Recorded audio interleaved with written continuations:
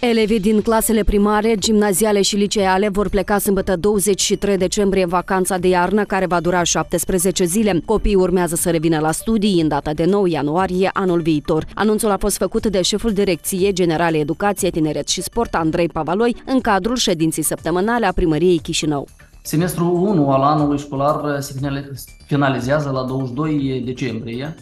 În săptămâna curentă, care este ultima săptămână de studii pentru instituțiile de învățământ secundar, se desfășoară instruirea elevilor cu referință la securitatea vieții și sănătății în perioada vacanței de iarnă, la fel au loc activități festive în contextul sărbătorilor de iarnă. Șeful Direcției Generale Educație, Tineret și Sport a precizat că în perioada menționată au vacanță doar elevii din învățământul primar și secundar. Grădinițele vor activa în continuare, cu excepția zilelor de sărbătoare, la fel și instituțiile de învățământ extrașcolar.